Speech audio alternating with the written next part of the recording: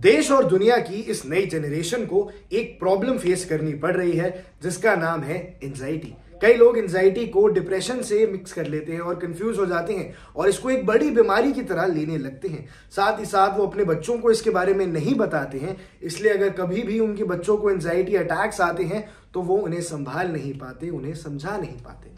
देखिए एंजाइटी होती है एक प्रकार की घबराहट।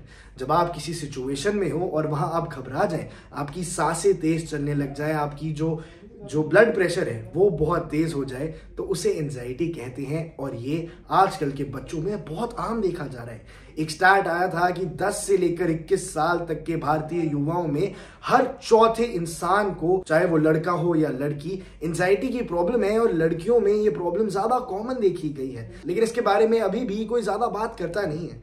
देखिए एंजाइटी को दूर करने के लिए सबसे पहले तो आपको लॉन्ग ब्रीदिंग एक्सरसाइज करनी चाहिए। जब भी आपको घबराहट होने लगी, आपकी हार्ट बीट तेज होने लगे तभी आप रिलैक्स हो जाएँ और लंबी साँसें लें। अगर कोई दिक्कत या कोई तकलीफ़ चल रही है तो किसी दोस्त या रिश्तेदार से बात करें, अपने मन को हल्का कर लें। लेकिन देखिए डिप्रेशन एक ऐसा स्टेट होता है, जब आदमी बिल्कुल दुखी हो जाता है, उसका दिमाग काम करना बंद कर देता है। लेकिन जब किसी को एंजाइटी अटैक आता है तो उनका ब्लड प्रेशर ऊपर नीचे हो जाता है हार्ट बीट तेज हो जाती है, सांस लेने में तकलीफें शुरू हो जाती हैं और ये बढ़ती ही जाती है प्रॉब्लम फिर इसके बाद क्रूशल एंजाइटी अटैक्स भी आ सकते हैं अलग अलग स्टेजेस होते हैं एंजाइटी अटैक्स के तो अगर आप इसको पहले स्टेज पर पकड़ के ही रोक देंगे तो ये आगे नहीं बढ़ेगी। लेकिन एंजाइटी ना हो, इसके लिए आप क्या कर सकते हैं? देखिए, कोई ना कोई स्पोर्ट्स खेलना शुरू कीजिए। स्पोर्ट्स खेलने से आप एंजाइटी से दूर रह सकते हैं, ऐसा इसलिए है क्योंकि स्पोर्ट्स खेलने से एक तो आपको ब्रेथ कंट्रोल आ जाता है और साथ ही साथ आपका माइंड और ज़्यादा रिलैक्स हो जाता है।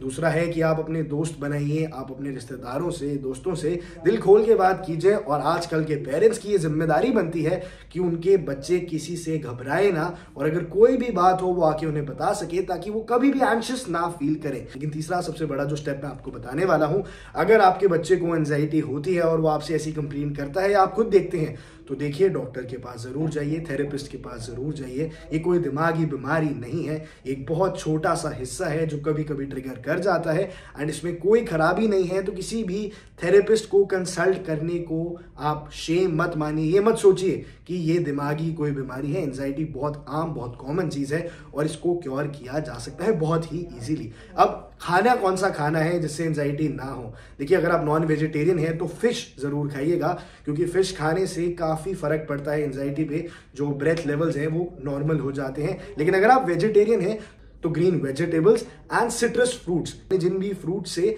विटामिन सी मिलता है लेमन हो गया ऑरेंज हो गया, ऐसे फ्रूट्स आप प्रेफर कर सकते हैं। लेकिन एनजाइटी को हल्के में ना लें और इससे बच कर रहें। देश और दुनिया की तमाम ऐसी बड़ी खबरों के लिए बने रहिए इंडिया न्यूज़ के साथ।